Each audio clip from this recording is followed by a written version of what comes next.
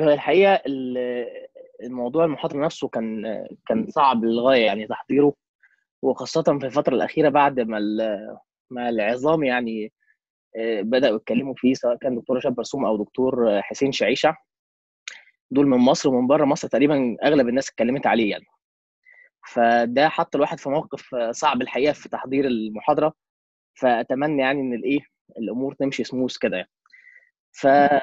فزي أي حاجة لما بنبدأ فيها بنبدأ بال history هو ال history بدأ في الصين في بلده ووهان لما اتبعت إيميل لل WHO بتاريخ آه، 31 ديسمبر إن عندهم cluster of cases of pneumonia of undiagnosed cause الحقيقة الكلام ده كان 31 ديسمبر 2019 اللي بعديها على طول بأربع أيام 4 يناير ال WHO أعلنت على ال social media كلها إن في فعلا حالات cluster of pneumonia في ووهان في الصين وإن إحنا لسه ال investigation is undergoing عشان نعرف الايه ال cause بتاع الموضوع.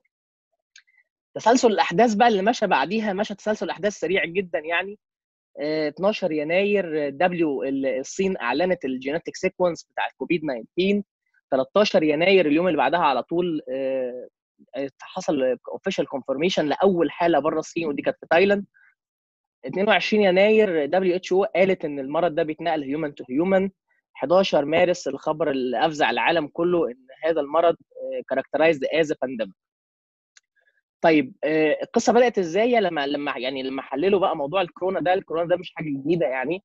يعني دايما الكورونا بيجي من من ال bats كان في سنة آه، 2002 آه، اتنقل الكورونا فيروس لحيوان اسمه ال civet وده نوع من أنواع القطط يعني موجود في شرق آسيا. في 2002 ال- الكورونا عمل السارس الكورونا فيروس عمل ال SARS وال civet ده كان intermediate host هو اللي عمل ال genetic mutation في الفيروس عشان ينقله للبني آدمين وده عمل السارس في 2002 2012 الكورونا فيروس اتنقل لل- للجمال عشان يعمل لنا الميرس اللي هي متلازمة الشرق الأوسط التنفسية في 2012 2019 اتنقل لحيوان اسمه ال pangolin آه، ده اللي بيسموه أكل النمل الحرفشي. ده اللي هو أكتر حيوان متهم إن هو اللي عمل ال genetic mutation في الكورونا فيروس اللي سبب ال SARS-CoV 2 اللي إحنا بنطلق عليه حاليا الكوفيد 19 هي دي قصة ال ال الكورونا فيروس على مدار الايه على مدار التاريخ الحديث يعني.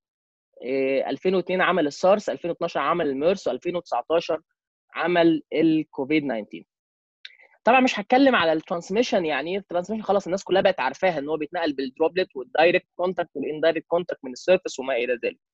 ولكن هو أنا اتسألت كام سؤال كده بس في الموضوع بتاع ال transmission فأنا عايز أجاوب عليهم.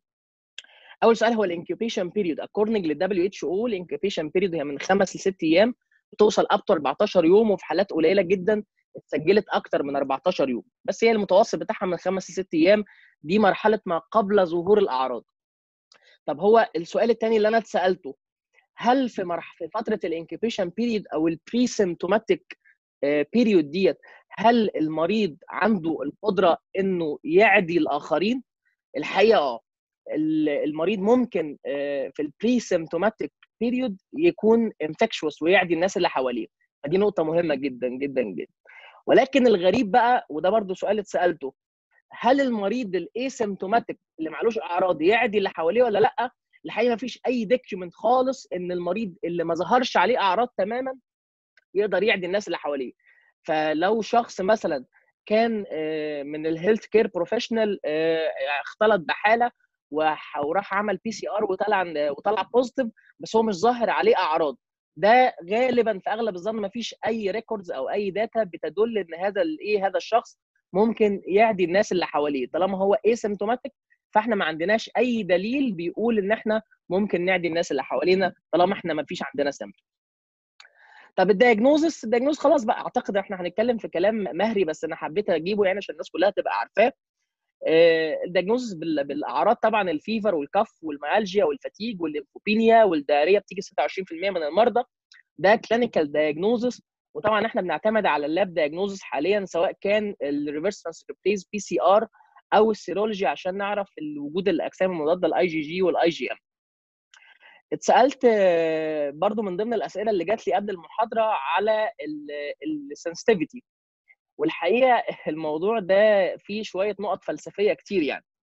ال early reports اللي جت من الصين كانت مخيبة جدا للأمال يعني طلعت ال paper دي مثلا في فبراير 2020 في بداية ظهور الفيروس قالت إن إحنا لو قارنا ال CT بال PCR هنلاقي إن ال sensitivity بتاعت ال CT بتوصل ل 98% وإن ال sensitivity بتاعت ال PCR 71% report بعديه طلع برضه من الصين قال إن ال sensitivity بتاعت ال PCR بتوصل 65% طب يعني إيه sensitivity 65% أو يعني إيه sensitivity 70% يعني أنا لو شخصت أو عملت تحليل ل 100 شخص 30 منهم هيطلعوا false negative يعني هيطلعوا negative ولكن الناس الناس ديت عندها الفيروس. طب أنا مش همشي معاكم بالمنطق ده اللي هو sensitivity 70% أنا راجل more optimistic وبقول إن ال إن ال إن التطور النهارده بعد يعني في خلال الكام شهر اللي بعديه بدأت ال kits بتاعت ال PCR تتعمل عليها أبحاث أفضل عشان ال sensitivity بتاعتها تزيد. وبقول لكم نفترض مع بعض إن ال sensitivity مثلا بتاعت ال PCR هنوصل بيها ل 90% أنت ممكن تعتبر إن رقم 90% ده رقم عالي ورقم يبسطك أو يرضيك من جوه يعني إن ال sensitivity 90% فده شيء كويس. للأسف الشديد هو مش شيء كويس خالص خالص خالص. والدليل على كده هنفترض افتراضات مع بعض يعني. السيدة ديت هي إيزابيل دياز أيوسو هي ال president of Madrid هي ال president of Madrid community الست دي طلعت على CNN في في مارس 2020 قالت إن غالبا 80% من الناس اللي عايشة في مدريد هيجيبوا كوفيد 19 positive ده ده كلامها. إن هي قالت الإحصائيات اللي عندها المراكز الإحصائية اللي عندها في مدريد قالت إن غالبا 80% من الناس اللي عايشة في مدريد هيلقطوا كوفيد 19 طب يعني لو إحنا افترضنا إن إحنا ال sensitivity بتاعتنا 90% مدريد عايش فيها 6.5 مليون بني آدم. 80% منهم يعني 5.2 من 10 مليون بني آدم عملوا التحليل ودي جت infected معنى كده إن إحنا في عندنا 520 ألف بني آدم قلنا لهم أنتوا negative وهم مش negative يعني 10% من ال 5.2 من 10 مليون. يعني حضرتك أنت خليت نص مليون بني آدم يعيشوا في المجتمع وقلت لهم أنتوا negative وهم الناس دي مش negative ولا حاجة. طب إيه المشكلة إن أنت تقول لواحد أنت negative وهو مش negative إن أنت تديله false sense of security والناس دي هيحصل لها relaxation كده according للايه للجزء بتاع ال بتاع ال social distancing والكلام اللي هو إيه إن هو بياخد باله من ال infection من ال infection control فطبعا بدأ من هنا الكلام يطلع بقى عن موضوع الايه ال second wave وال third wave وإن الناس بقى ال false negative اللي هيبقوا موجودين وماشيين في المجتمع هم دول الناس اللي هيسببوا ال second wave of infection كمان الخطورة الأكبر مثلا لو إحنا مثلا افترضنا إن Gavin ده اللي هو ال California governor طلع في تصريح على The Guardian وقال إن الإحصائيات بتاعته بتقول إن نص سكان كاليفورنيا هي get infected بالفيروس طب كاليفورنيا عايش فيها 40 مليون. يعني 20 مليون منهم هيبقوا got infected يعني 2 مليون بالتحاليل بتاعتنا ال sensitivity بتاعتها 90% هيطلعوا false negative وهيعيشوا في المجتمع وهم حاملين الفيروس بس التحاليل بتاعتهم بتقول إن هم negative فدول اللي هيسببوا برضه second wave ومن هنا جه الكلام على ال second wave of infection بتاعة الكوفيد 19 فأنا بس جايب لكم ال two slides دول عشان نتنبه لخطورة الموقف اللي إحنا فيه. طب حضراتكم عارفين إن من أكتر الحاجات اللي بت... اللي بتضايقنا في موضوع الكورونا ال unexpectancy بتاعته. إن إحنا مش قادرين نعمل expectation لل severity بتاعت الفيروس. طيب إحنا لو عملنا risk stratification للموضوع ده هنلاقي مثلا إن الناس اللي فوق 65% sorry فوق 65 سنة عندهم risk لل severe COVID infection أو ال up to mortality 4.5 إيه 4.5 4.5 times ال male مثلا مرة ونص عرضة أكتر إن هم يموتوا بالكوفيد 19 الناس ال hypertensive 2.7 من 10 طبعا الكلام ده كله موجود ولكن اللي يهمني عندي الناس ال CKD ال CKD مرتين ونص عرضة أكتر لل mortality بال COVID 19 عن ال general population طب لو إحنا حبينا نتكلم هو الفيروس بيخش إزاي وبيحصل له إيه جوه الجسم محتاجين بس يعني إيه زي ما قال دكتور أحمد رمضان إن إحنا نجيب كلمة صغيرة كده عن ال microbiology يعني. هو عامة دكاترتنا في ال microbiology كانوا دايما يحكوا لنا عن الفيروس ده ويقولوا لنا إن الفيروسات دي كائنات حقيرة يعني بمعنى أصح. دي كائنات obligatory intracellular ما بتقدرش تعيش لنفس بنفسها. هو عشان يعيش لازم يعيش جوه خلية حضرتك السؤال بقى المهم اللي بيطرق جوه دماغ أي حد فينا بيجي يذاكر virology ليه كل فيروس بيحب يصيب خلايا معينة؟ بمعنى إيه؟ بمعنى مثلا إن حضرتك هتلاقي إن ال hepatitis C وال hepatitis B virus أو ال hepatitis virus in general بيروحوا يصيبوا الكبد. هتلاقي مثلا إن ال HIV بيروح يضرب السي دي 4 الحتة دي بقى اسمها إيه؟ اسمها tissue tropism إن كل فيروس عنده tissue tropism عايز يروح يصيب أماكن معينة. طب هو بناء على إيه الفيروسات دي بتصيب الأماكن دي؟ according إن أي فيروس عشان يضرب خلية معينة لازم يخش جواها وعشان يخش جواها لازم يكون ليه receptor على ال cell surface بتاعها. فإحنا مثلا مثلا يعني على سبيل المثال الإنفلونزا فيروس مثلا ال receptor بتاعته بتبقى موجودة mainly في ال alveolar epithelial cells في الخلايا بتاعت ال alveoli عشان كده الإنفلونزا فيروس بيقدر يخش جوه الخلية. يبقى أول خطوة في عملية ال viral replication إن الفيروس يلزق على الخلية اللي هي ال adhesion. تاني خطوة إن الفيروس يخش جوه الخلية بعملية ال endocytosis ثالث خطوة إن يحصل uncoating للفيروس. يعني إيه uncoating للفيروس؟ إن الفيروس ده عبارة عن حاجتين. أي فيروس في الدنيا هو عبارة عن حاجتين. عبارة عن nucleic acid core و protein coat nucleic acid core و protein coat أي فيروس في الدنيا. فإحنا لما بندخل الفيروس جوه الخلية بتاعت جسمنا بنشيل ال coat من عليه ونطلع ال nucleic acid core من جوه. طلع ال nucleic acid core من جوه سواء كان الفيروس بتاعنا ده دي ان إيه أو ار ان إيه بيبدأ يتحد مع ال DNA بتاعنا ويستهلك الخلية بتاعتنا في إن هي تعمل replication لل DNA بتاع الفيروس أو ال RNA بعد كده بيبدأ الفيروس ده يعمل عملية ال translation ويبعت ال messenger RNA لل ribosome بتاع البني آدمين عشان ينتج ال protein coat بتاعه. بس ال coat بقى البالطو اللي بيغطي الفيروس ده لما بيجي الريبوزوم يصنعه بيصنعه في شكل توب طويل جدا جدا جدا. polypeptide chain طويلة. بتبقى طويلة جدا ما ينفعش نلفها حوالين الفيروس. وهنا بيجي خطوة ال proteolysis إن بتيجي ال proteases enzyme تقصقص ال coat ده كده عشان تأيفه وتظبطه على حجم الفيروس. وتيجي بعديها خطوة ال assembly إن أنت تقوم واخد ال DNA أو ال nucleic acid ده وتقوم حاطه جوه coat وتبدأ تعمل release للفيروس وتسبب في النهاية إلى ال cell death ده السيناريو الطبيعي في أي فيروس بيخش جوه جسمنا. وهذا الكلام ينطبق برضو على الكوفيد 19 ولكن الكوفيد 19 ال receptor بتاعه اللي بيخش عن طريقه جوه خلايا الجسم. هنا بقى بدأ الكلام عليه يزيد اللي هو اسمه ACE2 receptor ACE2 هو ال angiotensin converting enzyme 2 وهو آه مع نفس. يعني هو نفس القصة بتاعت ال angiotensin converting enzyme اللي إحنا عارفينها ده أخوه بالظبط. إحنا ال ACE enzyme ده. في منه ACE 1 اللي إحنا كلنا نعرفه وكلنا بنشتغل عليه وكلنا بندي عليه أدوية. وفي ال ACE 2 ده اللي الكلام عليه مش كتير. وأكتر الناس اللي بتتكلم عليه هم الجماعة بتوع ال cardiology عشان ليه role مهم جدا جدا في ال cardiovascular disease الفيروس بيمسك في ال ACE 2 receptor أينما وجدت جوه جسمنا. أينما وجدت جوه جسمنا بيقدر يمسك فيها ويقدر يخش جوه الخلية اللي عليها اللي على ال surface بتاعها ACE 2 انزيم. هو يبدا هنا السؤال هو ال ACE 2 انزيم ده موجود على ال cell surface بتاع انهي خلية بالظبط في الجسم؟ ده الكلام اللي أنا لسه هقوله كمان شوية. ولكن أينما وجد ال ACE 2 بيبدأ الفيروس يمسك في ال ACE 2 receptor ويقدر يعمل له بعد كده endocytosis يخش جوه ويعمل uncoating ويحصل release لل RNA بتاع الفيروس يخش جوه الريبوزوم يعمل ترانسكريبشن وترانسليشن ونعمل بعد كده ال protease enzyme نقطع الكود بتاعه ونعمل assembly ونعمل release من الفيروس. دي كده خطوة ال viral replication الخطوة اللي بعديها إن بيبدأ يحصل release للفيروس في ال systemic circulation وتبدأ ال immune system يتعرف على الفيروس اللي دخل الجسم ده.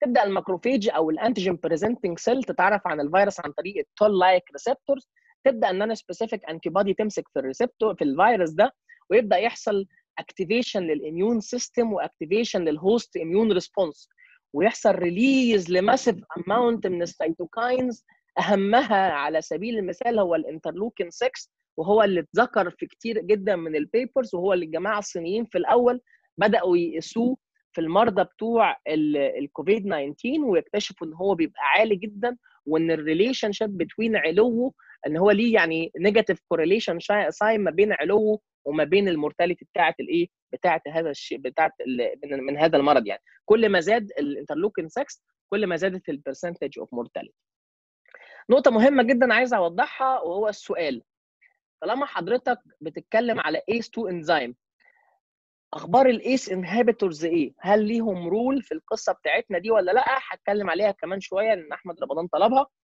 النقطة الثانية في الفترة بتاعت ال viral replication ديت هنا الفترة اللي يبدأ عليها المريض يحس بأعراض بسيطة وهي أعراض تنفسية وهنا ال... هنا دي الفترة اللي بدي فيها ال antiviral drug الفترة اللي بيحصل فيها host immune response أو اللي إحنا بنسميها ال cytokine storm أو ال cytokine release syndrome هنا دي الفترة اللي أنا بستخدم فيها ال immunomodulatory drugs بأنواعها المختلفة اللي إحنا هنتكلم عنها كمان شوية.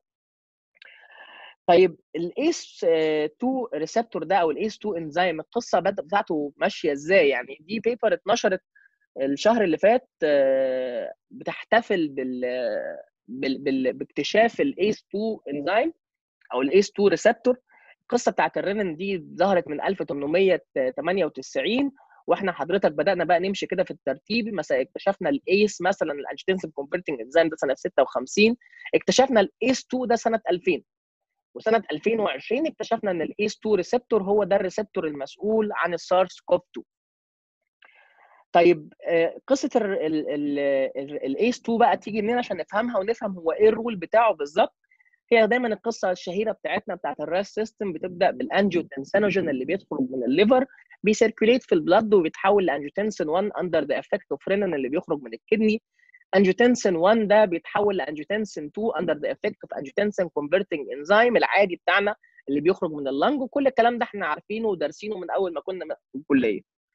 ال angiotensin converting 2 انزيم بيشتغل على sorry ال ACE 2 ال angiotensin 2 ده بيشتغل على ال receptor بتاعته اللي اسمها angiotensin 2 1 receptor عشان يعمل حاجات كلها سيئة بالنسبة لنا إحنا كلنا ما بنحبهاش.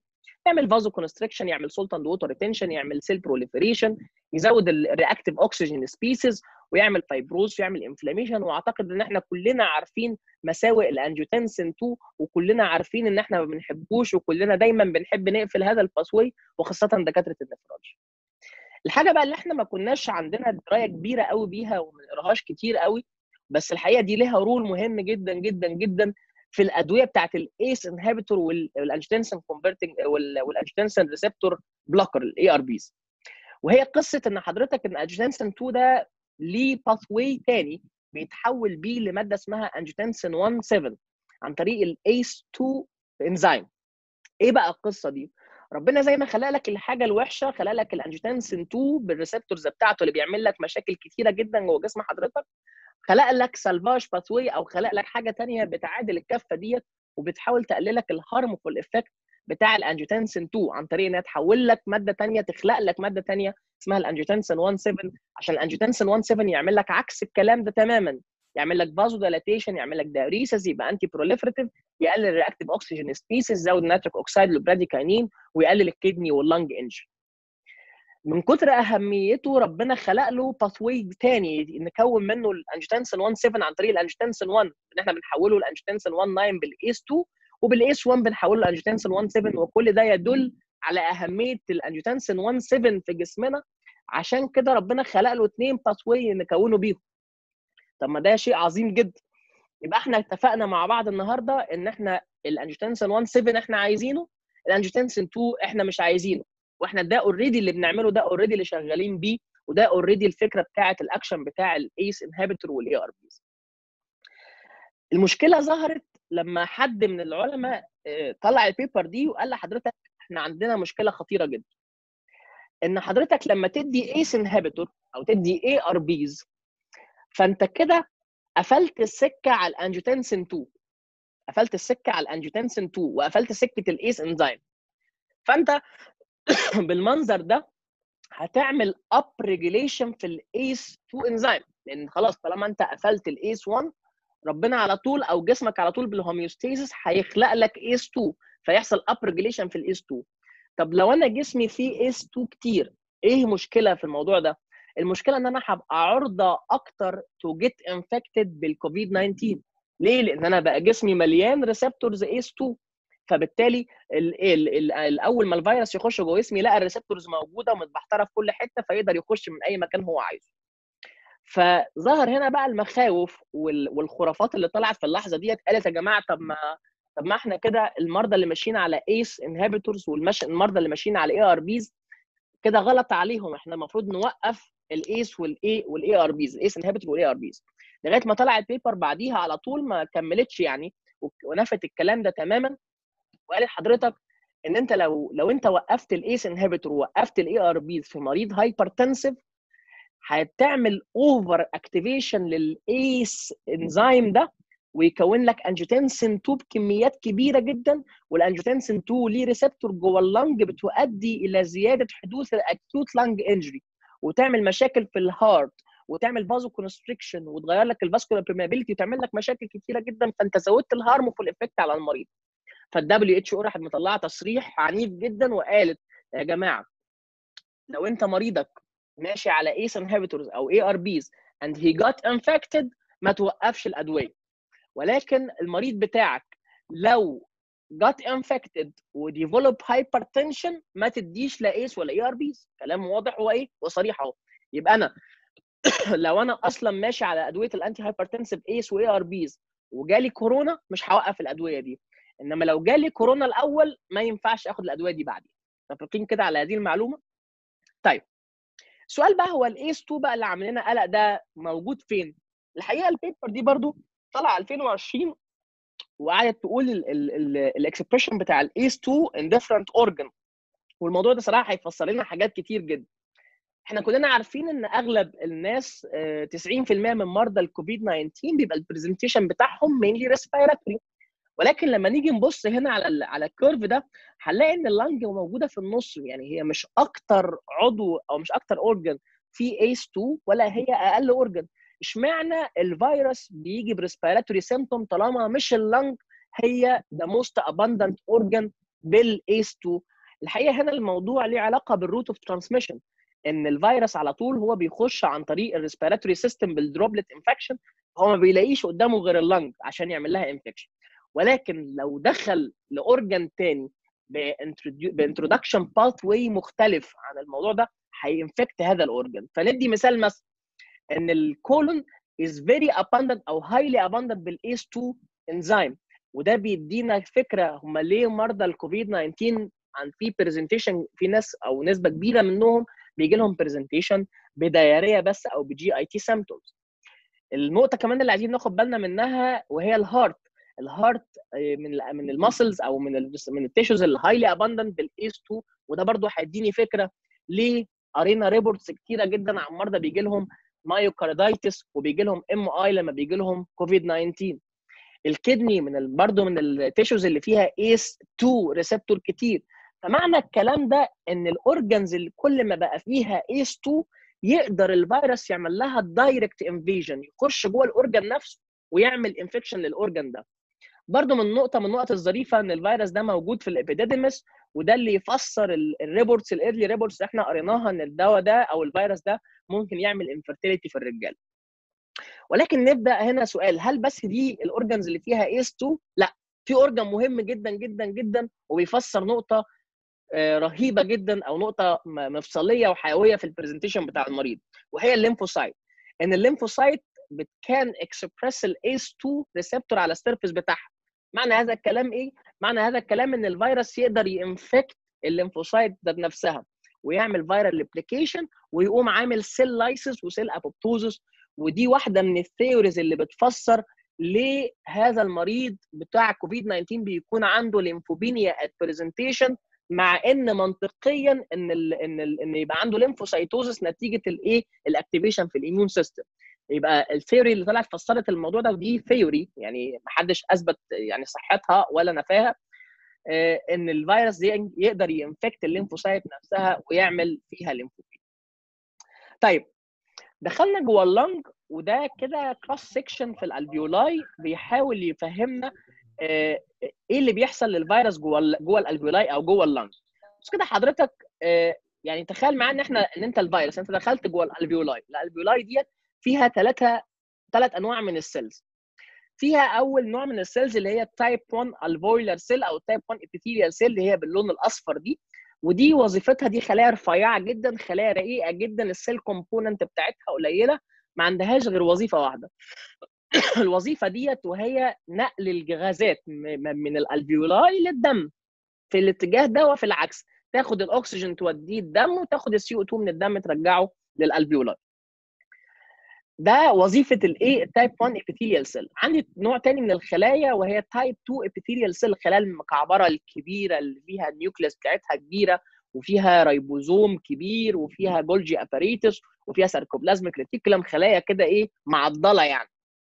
الخلايا دي وظيفتها بتعمل secretion لل surfactant اللي بيخلي ال surfactant ده اللي بيخلي ال alveoli patent ومفتوح.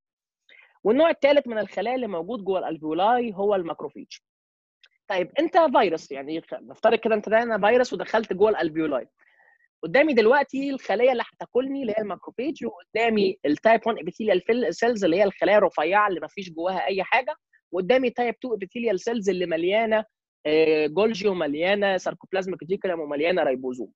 طبعا العقل والمنطق بيقولوا إن أنت عشان تستفيد أقصى استفادة إن أنت you should infect type 2 epithelial cells عشان تلاقي خلية توفر لك البيئة المناسبة إن أنت يحصل لك فيها viral replication وتوفر لك الايه كل الإمكانيات عشان تقدر تعمل viral replication cycle كويس وده الحقيقة اللي بيحصل إن الفيروس لما بيخش جوه ال alveoli بي infect ال type 2 epithelial cells وبالتالي بيعمل cell lysis فبالتالي ما بقاش في surfactant بيفرز جوه ال alveoli ومجرد لما ما يبقاش في surfactant جوه ال alveoli بيحصل إيه؟ بيحصل ال alveoli بيحصل لها collapse و atelectasis وده اللي بيدينا منظر ال ال ال ال اللي هو ال honeycomb appearance على الايه على ال CT ده أو منظر الايه ال atelectasis اللي بيطلع في ال CT ده اللي بيفسروا وجود ال infection في ال type 2 epithelial cells النقطة الثانية كمان اللي بيحصلها إن الفيروس بيبقى بيتمسك بال macrophages بال alveolar macrophage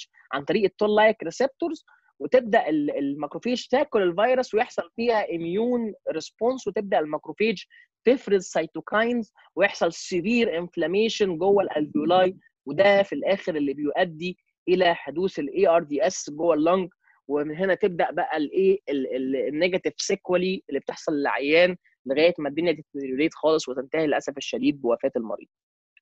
يبقى ده كده القصة اللي بتحصل جوه ال lung. طب نخش بقى على علاقة الكوفيد 19 بال kidney وال incidence of AKI الحقيقة ال report اللي طلعت من العالم كله متفاوتة للغاية في الموضوع ده. فهتلاقي مثلا إن في ووهان أول report طلع خالص على relationship between ال COVID 19 infection وال kidney طلع قال إن ال incidence of AKI كانت 5 1 من 10 طلع بعديها report تاني بعديها ب 15 يوم قال لأ ال incidence 23% طلع بعديها قال ال incidence 75% في نيويورك وهي واحدة من أكثر البؤر اللي اتاثرت بالكوفيد 19 في two reports طالعين من نيويورك في واحد طلع 36% واحد طلع 46% كندا 8% لندن طلعت 35% باريس طلعت 19 و3 من 10 فالنسب متفاوتة. وأعتقد هنا لما قريت أغلب ال papers اللي كاتبة فيها المكتوب فيها ال incidence of AKI اختلاف ال incidence ده بيرجع هم في الدراسة كانوا عاملين الدراسة على ال critically ill patient بس ولا على ال total amount of hospitalized patient دي أول نقطة بتفرق معايا إن أنت لو اخترت عيانين بتوع ال ICU بس فال incidence of AKI فيهم هيبقى أعلى. تاني اختلاف في في في الدراسات دي كلها هو اختلافهم على ال definition of AKI نفسه. هل بدخلوا معاهم stage 1 AKI اللي هو مجرد 3 من 10 increase بس في الكرياتين ولا اتكلموا على stage 2 و 3 بس؟ هل حطوا في ال presentations بتاعتهم ضمن الدراسة بتاعتهم ال abnormality في ال urine analysis without presence of elevation في الكرياتينين ولا لأ؟ فطبعا الأرقام اللي بتوصل 72% و75% دي ناس عملوا على إيه؟ على الناس بتوع ال critical بس بتوع ال ICU وناس اتكلموا بس على زودوا معاهم كمان في الدراسة بتاعتهم الناس اللي اللي presented ب urinary abnormality كمان من غير elevation في الكرياتين. وده اللي يفسر اختلافات الإيه؟ الأرقام دي. طيب آه دي كانت أول نقطة. النقطة الثانية إن المرضى دول 20 ل 35% منهم احتاجوا renal replacement therapy وللأسف الشديد إن كل ما ال AKI بقى موجود ال mortality بتزيد بتوصل من 65 ل 90% mortality في وجود ال AKI ف بالنسبة للعيانين ال ICU هم قالوا إن ال AKI بت affect من 20 ل 40% ودي كانت meta-analysis اتعملت على ألوف المرضى يعني اللي طلعت ال reports بتاعتهم وقالوا إن إن وجود ال AKI في مرضى ال ICU ده بيدي negative prognostic factor وبتوصل ال mortality فيه up to 75% على زي ما قال المصدر اللي إحنا جايبين منه. الحقيقة لما عملوا risk stratification وبدأوا يشيلوا ال factors الثانية confounding factor زي الايدج وزي ال comorbidities وزي الحاجات ديت لقوا إن stage 2 ال risk of mortality في stage 2 AKI 3 ونص مرة ال stage 3 بيوصل أربع مرات 7 من 10 risk of mortality فطبعا دي نسبة عالية جدا جدا جدا.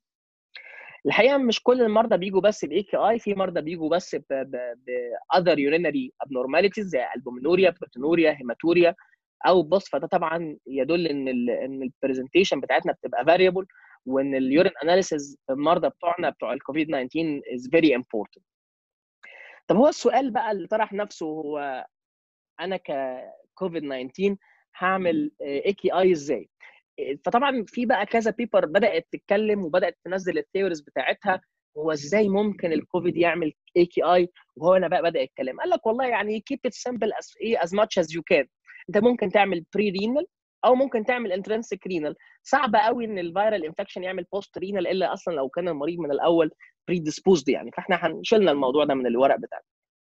فالخلاصة إن الفيروس ممكن يعمل pre-renal affection لل kidney أو يعمل intrinsic renal affection طيب pre-renal بقى الكلام العادي إن طبعا مع ال risk of sepsis مع ال risk طبعا إن المريض بتاعنا عنده fever وعنده vomiting و diarrhea وما إلى ذلك ممكن يخش في إيه؟ في hypovolemia ده pre-renal إنما الغريب إن المر... إن لقوا مرضى كتير قوي بيحصل لهم مشكلة كبيرة جدا من ال hypervolemia طب هو السؤال هو ال hypervolemia جت منين؟ وإزاي عملت renal affection طبعا الكلام ده للناس اللي, اللي بتقرأ في ال AKI هو كلام مش جديد. ولكن يعني عظمت أهميته في الفترة الأخيرة إن هما الكلام المنطقي بيقول إن ال fluid expansion may lead to positive fluid balance in patient with shock. Whatever كان ال cause of shock إن أنت لما تدي له fluid الدنيا هتحسن. ولكن يعني تاخد بالك كويس قوي من المرضى اللي في ARDS إن such an expansion ده detrimental effect بيدي طبعا negative effect في المرضى بتوع ال ARDS لأنه إن أنت لما المرضى اللي عندهم ARDS وال capillary permeability زايدة وانت رحت مزود ال intravascular volume ده بيزود ال capillary leakage ويزود مرور ال fluid من الدم into the alveoli فهيقلل طبعا ال oxygenation ويزود ال hypoxia عند المرضى دول. لقوا كمان إن ال over expansion أو ال over correction من ال fluid بيسوق حالة ال AKI بيورث ال AKI لأنه بيورث ال venous congestion وبيؤدي إلى حدوث renal compartment syndrome وبيقلل ال renal perfusion فطبعا موضوع ال fluid replacement في ال AKI ده موضوع جدلي وموضوع عليه خلافات وجدالات كتير من قديم الأزل وده لوحده عايز يعني سلسلة محاضرات. إزاي تدي fluid في مرضى ال AKI ولو هتدي هتدي crystalloid ولا colloid ولا synthetic ولا starch ولا ولا ولا. دي قصة جدلية كبيرة جدا يعني يطول شرحها. ولكن يعني في guidelines للموضوع ده إزاي اعوض fluid في مرضى ال AKI ال shock state أو ال ARDS ده طبعا ليها guideline طبعا من ضمن الأسباب اللي بتعمل ال pre-renal insult low cardiac output نتيجة ال hypovolemia ونتيجة ال viral affection لل heart نفسه اللي بيعمل acute myocarditis طبعا وجود ال cytokines نفسه كتير جدا بيزود ال capillary permeability وممكن يقلل ال effective intravascular volume ويعمل برضه pre-renal insult على ال kidney ده كده كان ال pre-renal وده أعتقد مش directly related للكوفيد 19 ده موجود في أي عيان sepsis أي عيان sepsis هيحصل معاه ال pre-renal insult اللي ممكن تؤدي إلى حدوث ال AKI intrinsic renal بقى وهو هنا الموضوع ال more interesting يعني. هو الحقيقة intrinsic renal إحنا هنقسمه بقى التقسيمة بتاعتنا اللي هي glomerular و tubular و interstitial و vascular وما إلى ذلك. glomerular هل الفيروس بتاعنا يعمل glomerular affection آه بيعمل collapsing glomerulonephritis ويعمل TMA فانا والحاجات دي مثبتة وهقولها كمان شوية. طيب الحاجة الثانية tubular هل الفيروس بتاعنا بيعمل tubular injury آه. بيعمل ATN ischemic زي ما اتفقنا من شوية لو pre-renal وسبتها مستمرة. الفيروس نفسه ممكن ين infect ال proximal convoluted tubule ويعمل proximal convoluted tubule tubulopathy الفيروس نفسه ممكن يعمل toxic ATN عن طريق ال rhabdomyolysis وهنثبت كمان الفيروس كمان شوية بيعمل rhabdomyolysis interstitial غالبا الفيروس نفسه ما بيعملش interstitial nephritis ولكن ال associated drugs اللي ممكن يكون المريض بياخدها أثناء فترة ال infection بتاعته ممكن هي اللي تؤدي لحدوث ال acute interstitial nephritis vascular بقى إن ممكن يحصل renal vein thrombosis أو renal artery thrombosis طب هناخد واحدة واحدة ونحاول نفسرها ونشوف إحنا الكلام بتاعنا ماشي إزاي. glomerular affection الحقيقة ال paper دي طلعت 9 إبريل آه اتعمل autopsy على 26 مريض ماتوا بالكوفيد 19 وكان معاهم renal impairment لقوا فيهم نسبة مش قليلة من المرضى آه لما فحصوا ال renal tissue بتاعهم under microscope لقوا collapsing GN بالمنظر ده. ادي حضرتك ال renal corpuscle اللي هي موجوده وادي ال glomerulus تحس انها مزقوقة لتحت كده نفس. طيب ده بالنسبة لل...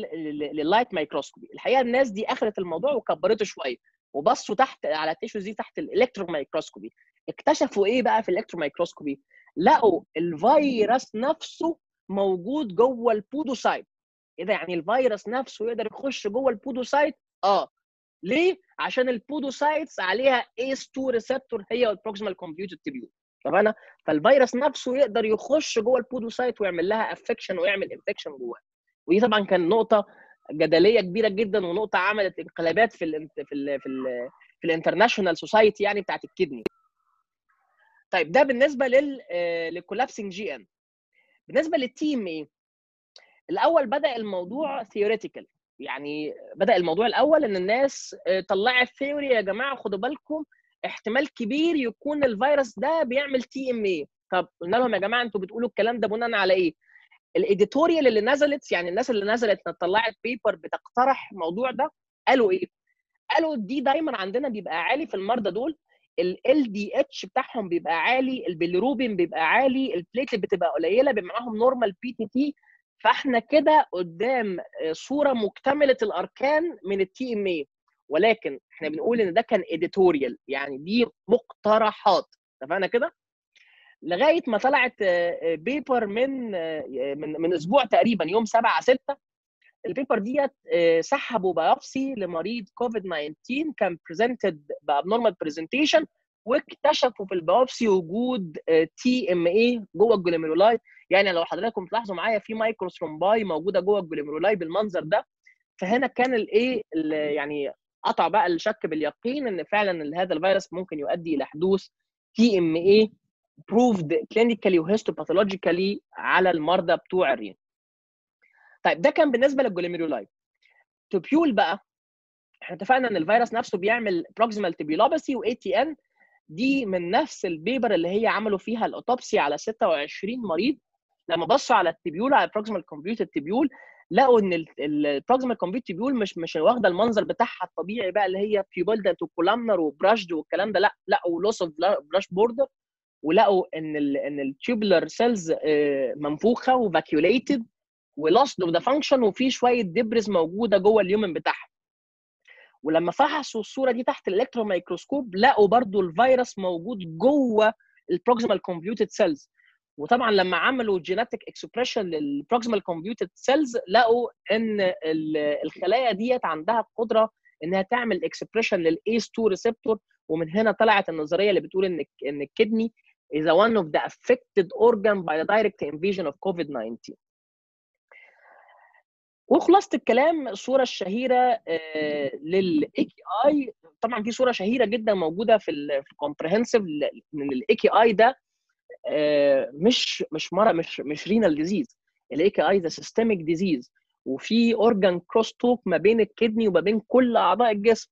والموضوع لا يختلف تماما في حالات الكوفيد 19 infection يعني أنت الفيروس بيخش جوه الجسم عن طريق عن طريق ال ACE 2 receptor الفيروس ده بيعمل direct invasion لل lung ال lung مع ال heart يعمل hypoxia و hypoperfusion لل kidney.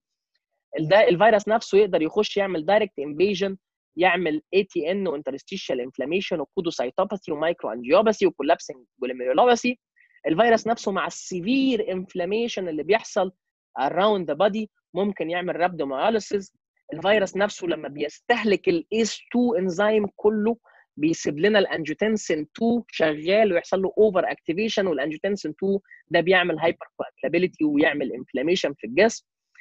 الفيروس نفسه بي infect ال lymphocyte ويعمل lymphopenia بيؤدي إلى حدوث ال cytokine storm وال cytokine storm مع ال inflammation اللي حاصل بيؤدي إلى حدوث hypercoagulability و microangiopathy وهو ده ال organ cross talk اللي بيحصل في ال during ال era اللي إحنا عايشين فيها والكوفيد viral infection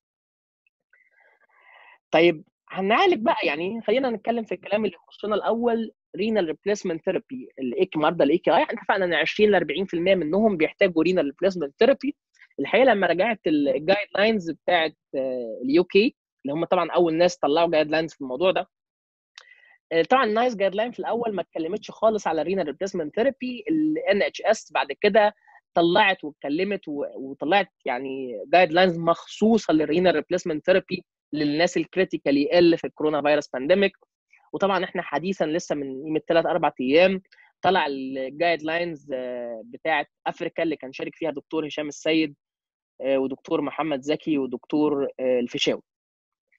اتكلموا بقى في الحاجات الحاجات بتاعتنا إحنا. يعني خلينا ناخد ال African guidelines ديت ونشوف هم كتبوا فيها إيه والحقيقة ما فيش اختلافات كبيرة ما بينها وما بين ال UK قالوا والله لو انت هتستخدم dialysis modality لأن أنا اتسألت السؤال ده برضو لو أنا حبيت استخدم إيه نوع ال dialysis modality المفضل أو الأفضل في استخدامه مع الناس بتوع الكوفيد 19 الحقيقة الموضوع ما فيش بقى هنا أفضلية لأن إحنا إحنا في جائحة وإحنا في مشكلة عالمية وفي طبعا shortage في ال في ال في ال physician staff وفي shortage في ال nursing staff و shortage في ال ICU staff فأنت بتشتغل باللي قدامك. فقال لك الموضوع بيعتمد على ال availability وال training اللي عندك. انت عندك المكن وعندك ال trained personnel اللي يقدروا يشتغلوا في الموضوع ده اشتغل باللي عندك. عايز تشتغل CRRT اشتغل عايز تشتغل SLED اشتغل عايز تشتغل intermittent hemodialysis عايز تشتغل PD بأنواعه اشتغل. ولكن ال guidelines طلعت قالت إحنا بنفضل زي في حالات في حالات الكوفيد infection زيه زي أي نوع من أنواع ال severe infection إن إحنا نستخدم ال CRRT أو ال SLED ولكن هنا اشترطوا إن الاستخدام بتاعهم يكون مصحوب ب high flux filters عشان نساعد بقدر الإمكان على الريموفال اوف از ماتش از كان من ال cytokines ال cytokines اللي عاملة ال cytokine storm وهي بتؤدي في الآخر لحدوث ال ARDS وهي المسبب الرئيسي للوفاة في مرضى الكوفيد infection فأنت بتحاول تشيل ال cytokine load من على الجسم بقدر الإمكان وتقلله عن طريق ال dialysis فاقترحوا ال two modalities دولت سواء ال CRRT أو ال SLED ب high filter أو ب high flux dialyzer عشان نقلل الايه ال cytokine load على الجسم. طب بالنسبة لل vascular access اتكلموا عنه برضه في نقطة مخصوصة في ال African guidelines وفي ال UK guidelines إحنا طبعا إحنا إحنا اتفقنا مع النواب بتوعنا اللي هيروحوا العزل إن هم يركبوا femoral عشان نقلل ال rate of complication ولكن كل ال guidelines أصرت إصرار شديد جدا إن ال preferable insertion access يكون ال internal jug والحقيقة يمكن هنا في ال African guidelines ما اتكلمتش ما, أسردتش شوية في التفاصيل ليه ال internal jugular هو أحسن حاجة. ولكن في ال UK ال NHS طلع وقالها صراحة. إحنا جات لنا many reports إن بيحصل premature clotting لل filters بتاعت ال dialysis عشان كده إحنا بنوصي الناس اللي هتركب لمرضى الكوفيد 19 توصل لهم على أماكن الغسيل إنهم يركبوا لهم right internal jugular لأن ال risk of thrombosis و kinking للقسطره بيبقى قليل جدا جدا جدا في right internal عن ال femoral فإحنا عشان كده بنفضل إن إحنا نركب right internal jugular عشان ال risk of kinking و of thrombosis يكون قليل جدا عشان أصلا المرضى دول بيبقوا hypercoagulable state واللاينات بتاعتهم أو المرشحات بتاعتهم بتتجلط بسرعة جدا فإحنا هنحاول نقلل ال risk ده as much as إيه as we can. طيب ال management بقى عموما للكوفيد 19 والله ال management بيعتمد هل أنت الكلام بقى العادي بتاعنا لو مريض mild symptoms عليه أعراض بسيطة سواء عمل PCR أو ما عملش ده بيتعمل له home isolation لو المريض asymptomatic ما عندوش أعراض. بس ال PCR بتاعه positive زي الجماعة ال healthcare professional يعني أنا مثلا اتعاملت مع مريض خلاص فرحت عملت PCR وطلعت positive بس أنا معليش أعراض برضه ليا home isolation الناس ال moderate to severe symptom بيحصل لهم hospital admission الحقيقة أنا اتسألت سؤال برضه على ال group على ال group بتاع الواتساب هو ال isolation ده for how long يعني أنا دلوقتي جالي مريض سواء كان mild symptoms أو asymptomatic ومعاه PCR positive فقلت له أنت هتبقى عزل منزلي فهو السؤال المنطقي المريض هيقول لي طب أنا يا دكتور هتعزل في البيت لغاية إمتى؟ إمتى أخرج من البيت؟ الحقيقة اختلفت الأقاويل هنا بس القول الفيصل يعني جاي من ال CDC ال CDC قالت المرضى ال symptomatic ال symptomatic اللي عليهم أعراض ي discontinue ال isolation بطريقتين أول طريقة اسمها symptom based strategy according للأعراض المرضى دول أول ما الأعراض تروح عندهم لما ال fever تروح تقعد ثلاث أيام يعني أنت حضرتك هتقعد ثلاث أيام من غير fever اليوم الرابع تقدر تخرج فيه من بيتك. ولكن على شرط إن يكون عدى عليك at least 10 أيام من أول عرض جال حضرتك بمعنى إيه؟ بمعنى لو أنت النهارده اتشخصت كوفيد 19 وعندك mild symptoms وقلت لك home isolation بكرة الأعراض راحت. تقول لي بعد ثلاث أيام أخرج من البيت هقول لك لا عدي 10 أيام. يبقى أقل مدة للعزل المنزلي 10 أيام وأكثر مدة هي بعد ثلاث أيام من ظهور الايه من من اختفاء ال fever دي اسمها symptom based strategy ودي الطريقة اللي الناس بتفضلها. الطريقة الثانية اللي هي ال test based strategy إن أنا أعمل two tests ما بينهم 48 ساعة بيكونوا الاثنين negative ولكن دي بتعتمد طبعا على ال availability لل test في المكان اللي أنت فيه وقدرتك على النزول البيت وما ما إلى ذلك. ده في حالة إن أنا عندي أعراض. طب لو أنا ما عنديش أعراض بقى لو أنا symptom free مش هينفع طبعا ال symptom based strategy فهنعتمد على حاجة اسمها time based strategy ودي معناها إن أنا هعدي 10 أيام. من اليوم الأول لظهور الأعراض بعد كده في اليوم ال11 أقدر أخرج من البيت عادي ما فيش أي مشكلة. أو أعتمد برضو على ال test based strategy أعمل تيستين negative وأخرج من البيت بعدين ده بالنسبة لل home isolation طب ال rationale of medical treatment بقى. طبعا إحنا هنتكلم على البروتوكول بتاع وزارة الصحة المصرية. هي لما أنا جبت الأدوية اللي فيه كده أنا قسمتهم لحاجات supportive therapy وحاجات targeted therapy حاجات بقى ال supportive زي الفيتامين C والزنك والاستيلستين واللاكتوفيرين والاكسوبارين والاديثرومايسين والدوكسايكلين أنا بس عايز أقول حاجة إن إن كل. كل اللي جاي في الكلام في الأدوية دي كلها without evidence. كل اللي جاي without evidence. طب انت ليه هتحط لنا في المحاضرة حاجات without evidence عشان العالم كله حضرتك دلوقتي في اللي إحنا بنمر فيه ده مفيش evidence. ما لحقناش نكون evidence. اتفقنا؟ فكل ما هو جاي ذكره هي بناء على clinical trials صغيرة جدا لم تثبت ال evidence بتاعتها. اتفقنا؟ ولكن إحنا ما قدامناش حاجة ثانية نعملها. عشان متفقين بس عشان الايه الاعتراضات اللي ممكن تظهر على الايه على الكلام ده انت ليه بتدي فيتامين C وليه بتدي مش عارف إيه وهكذا. ما علينا بال supportive therapy إحنا خلينا نتكلم في ال target therapy ال target therapy إحنا عندنا سبع أدوية. عندنا الهيدروكسي كلوروكوين عندنا ال lopinavir وال ritonavir دول دواء واحد مع بعض مادتين بيتاخدوا مع بعض في دواء واحد. عندنا ribavirin عندنا الريمديسيفير عندنا ال tocilizumab وعندنا الاستيرويد وعندنا ال convalescent plasma هي دي اللي هنتكلم عليهم إيه شوية يعني كل واحد هنتكلم عليه كلمتين. هنقول إيه بقى عن كل واحد؟ خلينا كده نفتكر مع بعض رسمة الايه ال cycle ال viral replication cycle عشان نعرف كل دواء من الأدوية بتاعتنا بيضرب فين بالظبط. هتلاقي مثلا هيدروكسي كلوروكوين اللي إحنا طبعا ده دواء معروف من قديم الأزل ومن قديم الأزل وإحنا بنستخدمه ك anti-malarial وبنستخدمه ك anti-arrhythmic وبنستخدمه في علاج ال rheumatoid arthritis وال systemic lupus الدواء ده بي interfere with the viral entry يعني أول خطوة في في دخول الفيروس جسمنا عن طريق إن هو بي interfere مع ال ACE 2 receptors بيقلل كمان خطوة ال endocytosis عن طريق إن هو بيزود البي اتش جوه الخلايا بتاعت جسمنا. فبيخلي ال pH ال more alkalotic دي صعب إن الايه إن ال إن ال vacuole دي تتنقل جواها. كمان إنه بيقلل ال viral إيه replication دي ال theories اللي بناء عليها اتبنى فكرة استخدام الهيدروكسي كلوروكوين في علاج الكوفيد infection طبعا ده أنا بقى مش هتكلم على قصة إن إيه إن إن والله طلعت paper في ال Lancet وقالت إن الدواء ده بيموت الناس بعدين ثاني يوم ال Lancet تراجعت عنها والقصة دي طبعا الناس كلها بقت عارفاها الدواء الثاني اللي هنتكلم عليه ال lopinavir ritonavir الدواء ده أصلا طالع عشان يبقى anti-retroviral يعني الدواء ده بيتاخد في علاج ال HIV الدواء ده is protease inhibitor يعني إيه protease inhibitor إحنا اتفقنا ال protease ده هو الخياط هو الخياط اللي بيقطع التوب الطويل قوي ده عشان يفصل ال coat على مقاس الفيروس بالظبط.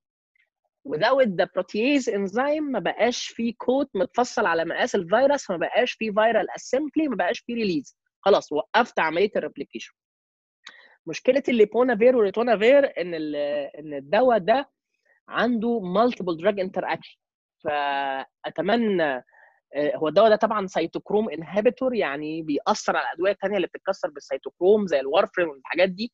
والأدوية الثانية اللي بتوقف السيتوكروم هي كمان بتأثر عليه. فمهم جدا إنك تعمل review لل medication قبل ما تدي المريض بتاعك الإيه؟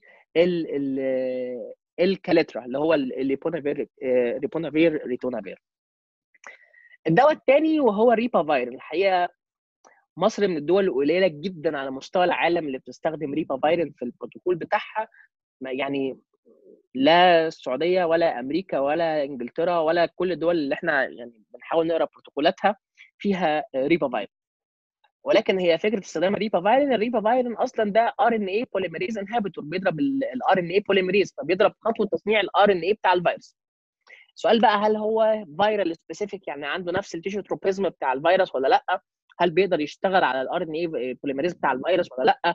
هنا يطلق السؤال وهنا طبعا الإجابة هتبقى لل clinical studies يعني لا ليا ولا لأي حد. الدواء الأخير في لعبة ال antiviral وهو الريمدي سيفير اللي طلع بقى إيه من حوالي شهر ونص كده وطلع عليه ضجة إعلامية كبيرة بتاع شركة جلياد.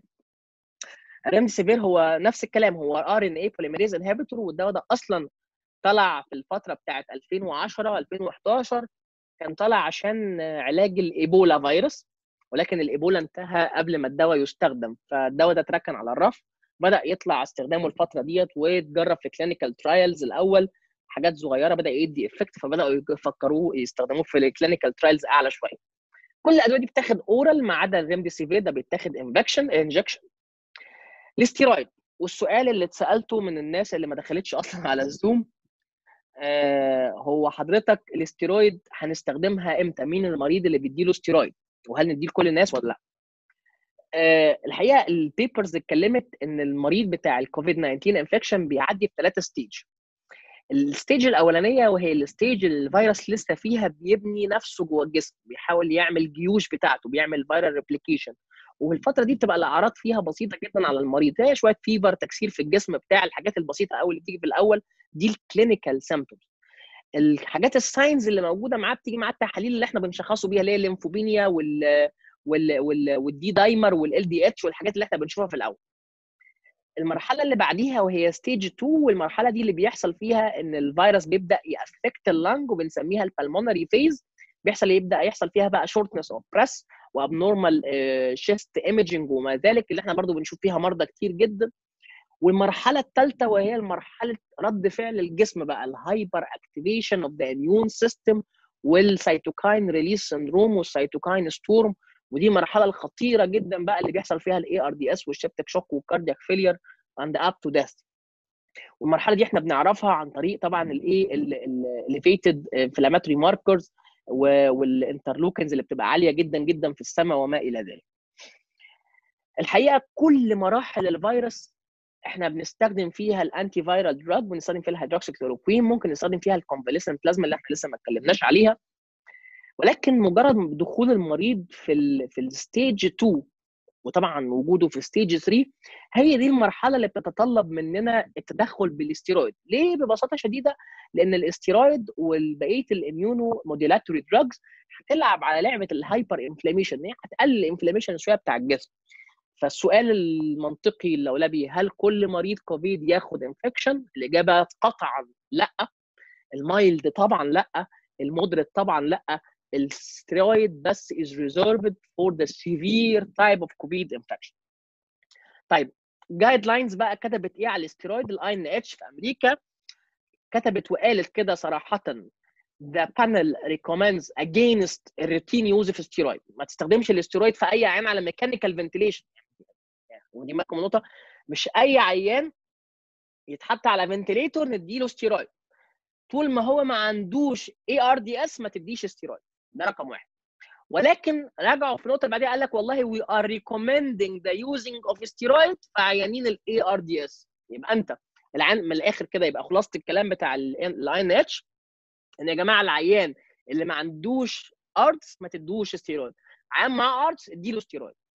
في مصر عندنا الكلام مختلف شوية يعني أمريكا ربطوها أمريكا ربطوها بال ARDS في مصر ما ربطوهاش بال ARDS في مصر ربطوها بحاجة تانية.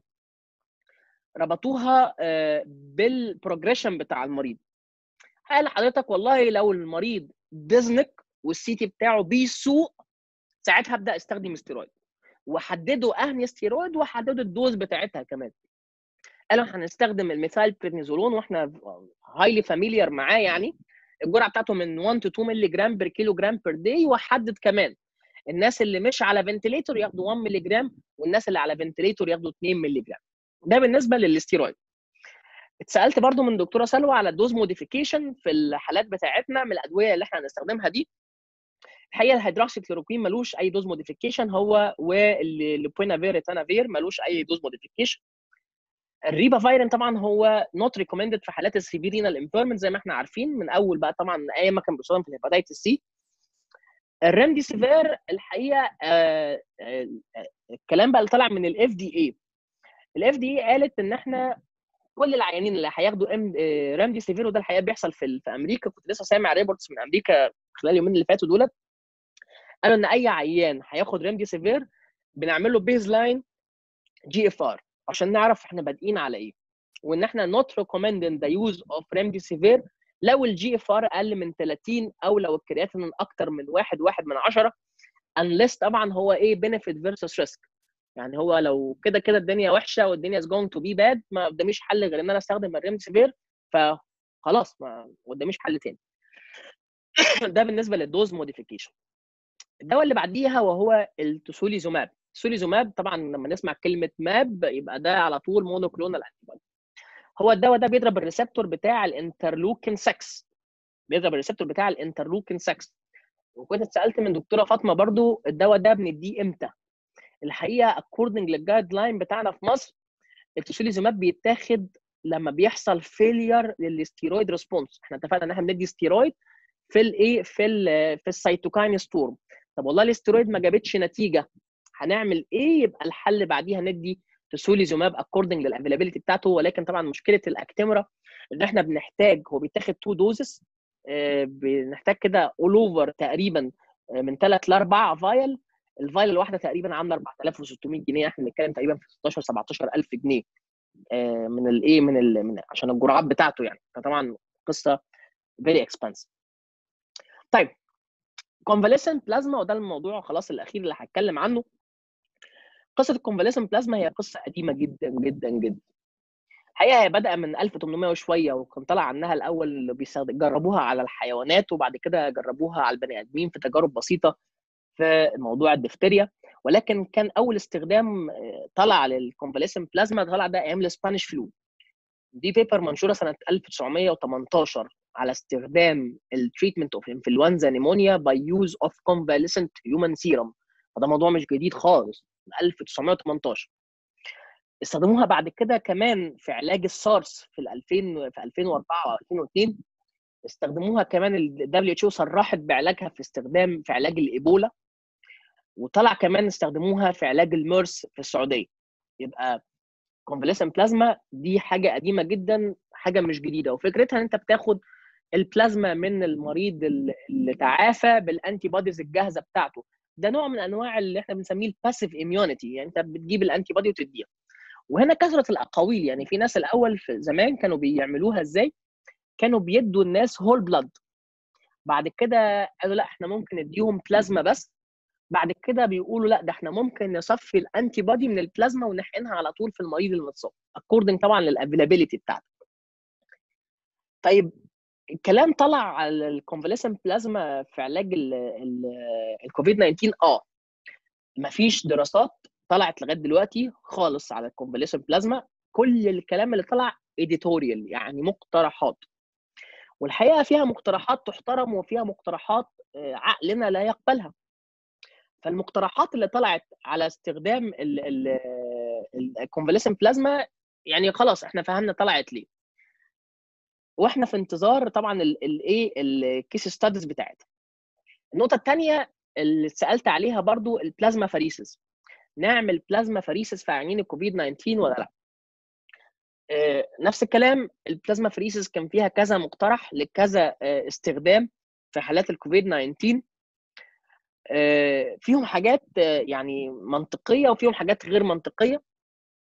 فمثلا عندنا فيليب كيث ده كان قال إن إحنا بنقترح استخدام ال plasma exchange على أساس إيه يا فندم؟ على أساس إن ال plasma exchange هتقدر تشيل من على المريض الايه نشيل من عنده ال cytokines الكتيره قوي الوحشة اللي إيه اللي صنعها جسمه في وقت ال cytokine storm ولكن طلع طبعا طلعت آراء علمية بتضد النقطة ديت وقالت له لا ما أنت خد بالك في وقت ال cytokine storm بيطلع كمية cytokines كتيرة جدا ولكن على قد ما في cytokines سيئة أنت عايز تشيلها على قد ما في cytokines كويسة زي مثلا interleukin 10 ده أنت عايز تخليه. هل أنت بال plasma exchange عندك selectivity تقدر تشيل مين وتخلي مين؟ رد قال لأ قال له يبقى خلاص الموضوع ده مقفول.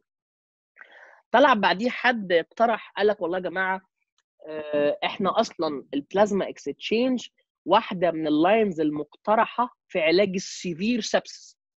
واحدة من ال lines المقترحة في علاج ال severe sepsis according طبعا للايه لل guidelines of plasma exchange فاحنا ممكن نستخدمها في حالات ال severe sepsis من الكوفيد 19 فدي نقطة. واحد ثالث بقى وده الصراحة اللي كان يعني فكرته غريبة شوية اللي هو كان كانت ال paper ديت بتاعت سولمان ديت قال لك والله يعني هو مش الكوفيد 19 بيعمل TMA وإحنا في حالات كتير قوي من ال TMA بنعالجها بال plasma exchange طب ما إحنا نعالج ده بده ونعالج أي عيان بقى كوفيد 19 بال plasma exchange وخلاص. ولكن طبعا ال paper ديت يعني نسبة ال citation فيها ونسبة ردود الأفعال بتاعتها كانت negatively جدا. طب هل في كلام بقى مستقبلي على قصة plasma exchange آه في الحقيقة في حالة case report اتعمل عليها plasma exchange ده ال potential effect of blood purification therapy in reducing cytokine storm as late complication critically ill in COVID 19 ودي كانت case report على حالة كوفيد 19 عملوا لها plasma exchange وتحسنت. ولكن الحالة ديت كان الغريب فيها شوية إن الحالة دخلت في secondary antiphospholipid crisis دخلت في catastrophic catastrophic antiphospholipid syndrome وهو أصلا واحد من ال lines بتاعت علاج ال catastrophic antiphospholipid syndrome هو استخدام ال plasma exchange فعشان كده المريض ده غالبا اتحسن عشان النقطة دي استخدام ال plasma exchange وهنا طبعا ال paper ديت حاطة كل الحاجة بتاعته بكل التفاصيل بتاعت المريض. الحقيقة طب إيه clinical trials اللي ماشية على ال plasma exchange في اثنين في اثنين clinical trials شغالين دلوقتي حاليا على ال plasma exchange في مرضى الكوفيد 19 واحدة في أمريكا معمولة تقريبا على 20 مريض وواحده في أسبانيا معمولة على 117 مريض المفروض خلال شهر أو شهرين يكون ال papers ديت ظهرت نتائجهم وإن شاء الله لما تظهر نتائجهم نعرضهم على حضراتكم ونشوف هل فعلا plasma exchange ليها role في علاج الكوفيد 19 ولا لا. طيب ال ongoing clinical trial لغاية اللحظة اللي إحنا بنتكلم فيها ديت العالم كله واقف على قدم وساق عشان يدور على علاج الكوفيد 19 حاليا في 1215 interventional study شغالة على ال adult treatment للكوفيد 19 واخدين بالكم من الرقم قد إيه؟ 1215 clinical trial في مثلا منهم 218 clinical trial على الهيدروكسيكلوروكين لوحده.